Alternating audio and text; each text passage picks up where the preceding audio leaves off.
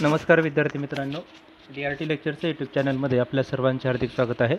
पाठीमागच्या लेक्चरला आपण महाराष्ट्राच्या भूगोलाविषयी माहिती बघत होतो. त्याच्यामध्ये आपण महाराष्ट्राच्या भूगोलाच्या संदर्भात असणारे काही महत्त्वाचे घटक पाठीमागच्या काही लेक्चर्समध्ये बघितलेले आहे हे सर्व घटक विविध प्रकारच्या स्पर्धा परीक्षांच्यासाठी अत्यंत महत्त्वाचे आहेत. कारण या घटकांच्यावरती परीक्षेमध्ये वारंवार प्रश्न विचारले जातात त्यामुळे हे घटक महत्त्वाचे आहेत. आजच्या लेक्चरला जो आपण घटक बघणार आहोत तोही घटक परीक्षे दृष्टिकोनातून महत्त्वाचा आहे. या घटकावरती परीक्षेला प्रत्येक परीक्षेमध्ये किंवा प्रत्येक तुम्ही ज्या वि विविध पदांच्या परीक्षा देता त्या प्रत्येक परीक्षेमध्ये या घटकावरती हमखास वेगवेगळ्या स्वरूपाचे प्रश्न विचारले जातात. त्यामुळे आपल्याला या ठिकाणी हा घटक पाहणं गरजेचं आहे. आता हा जो घटक आहे हा घटक बघण्यापूर्वी तुम्ही अजून चॅनल सबस्क्राईब केला नसेल सबस्क्राईब करा. त्याचबरोबर बेलायकॉनला प्रेस करा. आणि तुमचे जे इतर मित्र विविध प्रकारच्या स्पर्धा परीक्षांचा अभ्यास करतात त्या सर्वांच्यापर्यंत हे तुम्ही सर्व व्हिडिओ पोचवा जेणेकरून त्यांना या सर्व माहितीचा त्यांच्या उचित ध्येय किंवा ठरवलेले ध्येय गाठण्यासाठी या सर्व माहितीचा उपयोग होईल आणि याचा त्यांना निश्चित फायदा होईल. त्यामुळे हे सगळं बाकी इतर मित्रांच्यापर्यंत पोहोचवा. चला तर आपण आजच्या लेक्चरला महत्त्वाचा घटक बघणार आहोत तो म्हणजे महाराष्ट्रातील गरम पाण्याचे झरे हॉट स्प्रिंग इन महाराष्ट्र. आता आपल्या महाराष्ट्रामध्ये जर आपण विचार करायला गेलो तर भौगोलिकदृष्ट्या असणारी जी विविधता आहे भूगर्भात असणारी विविध प्रकारची खनिजं भूगर्भाच्या अंतर्गत भागात असणारे लावाचे थर या सर्व गोष्टींच्यामुळे आपल्या महाराष्ट्रामध्ये गरम पाण्याचे झरे अस्तित्वात किंवा निर्माण झालेले आपल्याला पाहायला मिळतात. पूर्ण भारताचा जर विचार करायला गेलो तर सरासरी आपल्या भारतामध्ये तीनशे चाळीस ठिकाणी गरम पाण्याचे झरे आहेत. त्यापैकी दोनशे बत्तीस झरे काही पुढील प्रमुख राज्यांच्यामध्ये आहेत. त्या राज्यांची आपल्याला इथे नावे दिलेली आहेत. सर्वात प्रथम आपण अरुणाचल प्रदेश जर बघितलं तर अरुचा अरुणाचल प्रदेशमध्ये गरम पाण्याची झरे झऱ्यांची संख्या एकतीस आहे. आंध्र प्रदेशमध्ये हीच संख्या पंचवीस आहे. उत्तराखंडमध्ये बासष्ट आहे ओरिसामध्ये पाच आहे गुजरातमध्ये एकवीस आहे जम्मू काश्मीरमध्ये तीस आहेत महाराष्ट्रात अठ्ठावीस आहेत तर हिमाचल प्रदेशमध्ये हीच झऱ्यांची संख्या तीस आहे. आता जर आपण बघितलं तर महाराष्ट्रातील जे एकूण आपल्याकडं महाराष्ट्र राज्यामध्ये आढळणारे हे जे आपण बघितले की अठ्ठावीस झरे आहेत या महाराष्ट्रातील एकूण अठ्ठावीस झऱ्यांच्यापैकी अठरा झरे म्हणजे सर्वात जास्त हे गरम पाण्याचे झरे एकट्या कोकणात आहेत म्हणजे कोकण किनारपट्टीला असलेले पाहायला मिळतात. आता त्याच ठिकाणी असण्याचं कारण म्हणजे तेथे असणारं जे खड खडकातील असणारी खनिज आहेत त्या खडकातील खनिजांचा त्या भूगर्भातील पाण्याच्या साठ्यांच्यावरती परिणाम होतो आणि त्या पाण्याच्या साठ्यांच्यावरती परिणाम झाल्यामुळे त्या ठिकाणी या झऱ्यांची निर्मिती झालेली आहे. हे असे आपल्या भारतामध्ये आणि महाराष्ट्रात असणारे झरे आहेत. आता या झऱ्यांची निर्मिती कशा प्रकारे होते ते आपल्याला बघायचे. पृथ्वीच्या पृष्ठभागावरचे पाणी खडकातल्या भेगांच्यामधून खोलवरती खाली जातं. खाली गेल्यानंतर जमिनीत खाली ठराविक अंतरावरती गेल्यानंतर तिथं तापमान वाढतं.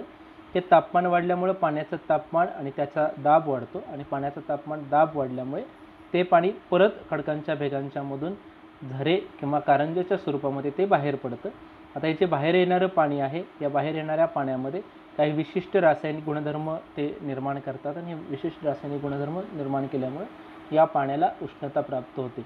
आता भूऔष्णिक द्रव्यांच्यामध्ये प्रामुख्याने कार्बोनेट नायट्रेट झिंक कॉपर बोरॉनसारखे अनेक घटक त्याच्यामध्ये विरघळलेले असतात. या सर्व घटकांचा त्या पाण्यावरती परिणाम होतो. त्या पाण्याची उष्णता वाढते. या घटकांचा अभ्यास करून पाणी खडकात पाणी व खडकातल्या अंतर्क्रियेची मूलभूत प्रक्रिया औष्णिक द्रव्यांचे स्रोत यांच्या वापरामुळे पर्यावरणात होणारे परिणाम अशा विविध गोष्टींची उकल शास्त्रज्ञांनी केलेली आहे. आता जर आपण बघितलं तर आपल्या महाराष्ट्रामध्ये ज्वालामुखीच्या उद्रेकामुळे लाखो वर्षापूर्वी निर्माण झालेलं दख्खनचं पठार या दख्खनच्या पठाराच्या पृष्ठभागावरती बेसॉल्ट खडकाचा कमी जाडी कमी जाडीचा थर हा त्याच्यावरती परिणाम करतो. त्याचबरोबर बेसॉल्टचा खडक हा ज्वालामुखीच्या उद्रेकामुळे तयार झालेले त्याच्यामुळे त्याच्याखाली गाडले गेलेले कल्डगी नावाचे त्याचबरोबर सँडस्टोन हे वालुकास्तरित खडक त्याच्याखाली आढळतात आणि या खडकांचाही त्याच्यावरती परिणाम होतो. त्याचबरोबर त्याखाली काही कोटी वर्षापूर्वी निर्माण झालेले प्रिकप्रियन ग्रॅनाईट आणि नीस खडक जे आहेत त्या नीस खडकांचा थर असतो. या खडकांच्या थराचाही त्या गरम पाणी किंवा गरम पाण्याचे झरे निर्माण होण्यावरती परिणाम होतो. डक् डेक्कन पठार किंवा दख्खनच्या पठारावरती विवर्तनिकी भ्रंश किंवा टेक्टॉनिक फ्लॅट हे निर्माण होतात. या निर्माण होणाऱ्या प्रक्रियेच्यामुळे या कोकणातल्या उत्तर आणि दक्षिण भागाच्या किनाऱ्याला त्या समांतर आहेत त्याचाही त्याच्यावरती परिणाम होतो. या खडकांच्या रचनेत सातिवली मंडणगड अरवली आरवली अंजनेरी राजापूरसारख्या अनेक ठिकाणी उष्ण पाण्याचे झरे निर्माण झालेले आहेत. आता आपल्याला बघायचे आहेत महाराष्ट्रातील गरम पाण्याचे झरे. आता इथं काही जिल्ह्यांची नावं दिलेली आहेत. जिल्हानिहाय आपल्याकडे गरम पाण्याचे झरे कोणते कुठे आहेत ते बघायचे आहेत. आपण जर बघितलं तर आता आपण आधी बघितल्याप्रमाणे आपल्या महाराष्ट्रामध्ये सरासरी अठ्ठावीस गरम पाण्याचे झरे आहेत. त्याच्यातील अठरा गरम पाण्याचे झरे एकट्या कोकणात आहेत. म्हणजे आपण जर बघितलं तर हे गरम पाण्याचे झरे दख्खनच्या पठारावरती काही ठिकाणी आहेत. परंतु सर्वात जास्त संख्या कोकणामध्ये कोकणामध्ये असण्याचं कारण की जे ते प्लेक टेक्टोनिक आहेत प्लेक टेक्ट्रॉनिक थेरीच्या या गुणधर्मामुळे ही प्लेक टेक्ट्रॉनिकचं ठिकाण कोकणामध्ये आहे आणि या दोन्ही ठिकाणच्या प्लेट याच्यामधून येणारा लावा त्या लावाचा खडकावरती होणारा परिणाम आणि त्याचा त्या भूगर्भातील पाण्यावरती होणारा परिणाम त्यामुळे या गरम पाण्याच्या झऱ्यांची प्रामुख्याने निर्मिती होते. आता आपल्याला महाराष्ट्रातील गरम पाण्याचे झरे बघायचे याच्यातील पहिला जिल्हा आहे तो म्हणजे रायगड. आता आपण जर रायगड जिल्हा बघितला तर रायगड जिल्ह्यामध्ये प्रामुख्याने साव उणेरे आणि वडवली या ठिकाणी गरम पाण्याचे झरे असलेले पाहायला मिळतात. त्याचबरोबर पुढचा जिल्हा आहे ठाणे. या ठाणे जिल्ह्यामध्ये वज्रेश्वरी गणेशपुरी अकलोली या ठिकाणी गरम पाण्याचे झरे आहेत. याच ठाणे जिल्ह्यातून विभाजित झालेला पालघर जिल्हा. या पालघर जिल्ह्यामध्ये सातवली या ठिकाणी गरम पाण्याचे झरे आहेत. त्याचबरोबर दख्खनच्या पठारावरचा मराठवाड्यामध्ये असणारा एक महत्त्वाचा जिल्हा नांदेड. नांदेडमध्ये नांदेड जिल्ह्यामध्ये ओंकेश्वर या ठिकाणी गरम पाण्याचे झरे आहेत त्याचबरोबर अमरावतीमध्ये सालबर्डी या ठिकाणी गरम पाण्याचे झरे आहेत यवतमाळमध्ये कापेश्वर या ठिकाणी गरम पाण्याचे झरे आहेत त्याचबरोबर उत्तर महाराष्ट्रातील जळगाव या जिल्ह्यामध्ये चांगदेव आ आडावद उपनदेव सुपनदेव आणि नाझरदेव या ठिकाणी गरम पाण्याचे झरे धुळे जिल्ह्यामध्ये दर्वीपूर या ठिकाणी गरम पाण्याचे झरे सर्वात जास्त आदिवासींची लोकसंख्या म्हणून ओळखला जाणारा नंदुरबार जिल्हा या नंदुरबार जिल्ह्यामध्ये अणवदेव नावाचं एक गरम पाण्याचा झरा आहे.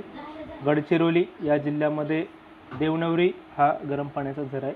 रत्नागिरी या जिल्ह्यामध्ये उणवरे असवली राजावाडी संगमेश्वर आणि उल्हास या ठिकाणी गरम पाण्याचे झरे आहे हे आपल्या महाराष्ट्रातील काही प्रमुख जिल्ह्यांच्यामध्ये असणारे गरम पाण्याचे झरे आपल्याला इथं सांगता येतील. आता याच्या संदर्भामध्ये तुम्हाला परीक्षेमध्ये कुठ प्रश्न या प्रकारचा प्रश्न येऊ शकतो. त्यामुळे तुम्हाला जिल्हा आणि त्या जिल्ह्यामध्ये असणारे गरम पाण्याचे कोणते झरे आहेत ते तुम्हाला माहीत असणं गरजेचं आहे. त्यामुळे त्या तुम्हाला तुम्हाला हे सर्व लक्षात ठेवणं गरजेचं आहे. त्यामुळे हा घटक परीक्षेच्या दृष्टिकोनातून महत्त्वाचं आहे आणि याच्यावरती प्रश्नही विचारले जातात. आता आपण नकाशा दिलेला आहे. हा नकाशा तुम्ही लक्षात ठेवू शकता. या नकाशाच्या साह्याने तुम्हाला हे सर्व जे गरम पाण्याचे झरे ते गरम पाण्याचे झरे तुम्हाला लक्षात राहू शकतात. आता आपल्याला बघायचं गरम पाण्याच्या झऱ्याचे फायदे. पहिला फायदा आहे रक्ताभिसनाची सुधारणा. हे जर आपण गरम पाण्याचे झरे दिले तर हे ते रक्त परिसंचरण उच्च रक्तदाब चिंताग्रस्त असंतुलन आणि एथरो एथरोक्सलोरिसमध्ये हे मदत करतात असे मानले जाते. म्हणजे रक्ताभिसरणाच्या प्रक्रियेमुळे प्रक्रियेमध्ये गरम पाण्याचे झरे महत्त्वाची भूमिका बजावतात. दुसरा महत्त्वाचा फायदा त्वचेच्या संसर्गावरती उपचार आता हे जर आपण बघितलं तर ह्या जे गरम पाण्याचे झरे आहेत त्या गरम पाण्याच्या झऱ्यामध्ये असणारी रासायनिक द्रव्य याचा त्वचेच्या संसर्गावरती उपचार होतो. प्रामुख्याने जर बघितलं तर सल्फर हे तुमच्या शरीरातील प्रत्येक पेशीमध्ये असतं. ते खनिज आहे आणि ते कोलेजन तयार करण्यासाठी वापरले जाते आणि हे तुमची त्वचा गुळगुळीत आणि निरोगी ठेवते. हे द्रव्य प्रामुख्याने त्या गरम पाण्याच्या झऱ्यामध्ये असतं आणि त्याच्यातून आपल्याला फायदा होतो. त्यानंतर संपूर्ण सल्फरचे समृद्ध स्रोत आता यां त्यांच्या उपचाराच्या फायद्यांमध्ये त्वचेची जळजळ पुरळ इसब यासारख्या संक्रम संक्रमणावर उपचार करणे हे समाविष्ट आहे. सल्फर समृद्ध गरम पाण्याचे झरे कोरडे टाळू संधिवात वेदना रजोनिवृत्तीची लक्षणे पाचन विकार यासारख्या अंतर्गत समस्यांचे वरती उपचार करण्यासाठीही या गरम पाण्यातील झऱ्यामध्ये असणारा जो महत्त्वाचा घटक आहे त्या महत्त्वाच्या घटकाचा आपल्याला सल्फरचा आपल्या शरीरासाठी फायदा होतो. त्याचबरोबर तणाव कमी करणे हा एक सगळ्यात महत्त्वाचा फायदा आहे. गरम पाण्याचे झरे तुमच्या शरीराला आराम करण्यासाठी मदत करतात. त्यामुळे तुमच्या आरोग्याच्या अनेक पैलूंचा फायदा होतो. त्यामुळे झोपण्याची पद्धती आणि पोषक द्रव्यांचा प्रामुख्याने समावेश आहे. पुढचा फायदा गरम पाण्याच्या उष्णतेपासून प्रदूषणविरहित आपल्याला वीज निर्मिती करता येते.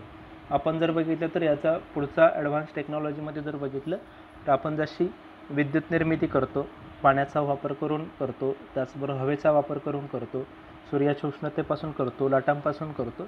तशी आपल्याला या ठिकाणी जर आपण बघितली तर प्रामुख्याने या गरम पाण्याचे गरम पाण्याच्या झऱ्याची वाफ याच्यापासून आपल्याला वीज निर्मिती करता येते. जगातील अमेरिका जपान इटली याबरोबर इतर पंचवीस देशांच्यामध्ये या तंत्रज्ञानाद्वारे वीज निर्मिती केली जाते. आपण जर बघितलं तर कोळसा पवनचक्की अणुऊर्जा या प्रकारांच्यामध्ये वीज निर्मिती केली जाते. परंतु गरम पाण्याच्या उष्णतेपासून वीज निर्मिती करणे खर्चिक असल्याने आपल्या महाराष्ट्रामध्ये ती केली जात नाही. परंतु येत्या काही दिवसामध्ये ती काळाची गरज होण्याची शक्यता आहे. त्यावेळेला ती केली जाईल. कोकणात अठरा ठिकाणी अशा प्रकारची वीज निर्मिती करता येऊ शकेल. सध्या संगमेश्वर तालुक्यातील राजावाडी या ठिकाणी तीन मेगावॅट वीज निर्मितीचा प्रकल्प भूऔष्णिक प्रकल्प उभारण्याचा विचार चालू आहे. म्हणजे आपल्याकडेही अशा प्रकारची राज राजवाडी या ठिकाणी अशा प्रकारची वीज निर्मिती केली जाऊ शकते. हे सगळ्यात महत्त्वाचं आहे. आणि हे तुम्हाला परीक्षेला विचारलं जाऊ शकेल की कोणता प्रकल्प प्रस्तावित आहे की जो गरम पाण्याच्या झऱ्यावरती वीज निर्मिती करेल. तर तो राजावाडी या ठिकाणचा आहे. हॉट स्प्रिंगच्या उष्णतेमुळे आणि उत्तेजित प्रोत्साहन दिलेली विश्रांती देखील आपल्या स्नायू आणि सांध्यांची गती वाढवण्यास मदत करते. त्यामुळे आघातातून बरे झालेल्या संधिवातग्रस्त व्यक्तींसाठी त्यांना त्या ठिकाणी आंघोळ करणं किंवा त्याचा त्या पाण्याचा वापर करणं हे त्यांच्यासाठी उपयुक्त आहे. हे जर आपण गरम पाण्याचे झरे बघितले तर हे पिण्यासाठी नाही तर ते फक्त शरीरावरती घेण्यासाठी आंघोळ करण्यासाठी आपण त्याचा वापर करू शकतो अशा प्रकारे आपल्याला या ठिकाणी महाराष्ट्रातील गरम पाण्याचे झरे कोणत्या जिल्ह्यामध्ये कोणते आहेत याचे महत्त्वाचे फायदे याच्या संदर्भात माहिती सांगता येईल. या संदर्भात तुमच्या काही शंका असतील तर तुम्ही कमेंट बॉक्समध्ये लिहू शकता. त्याचबरोबर व्हिडिओ आवडल्यास लाईक शेअर आणि सबस्क्राईब करा. आणि तुमच्या इतर मित्रांच्यापर्यंत ते सर्व पोहोचवा. थँक्यू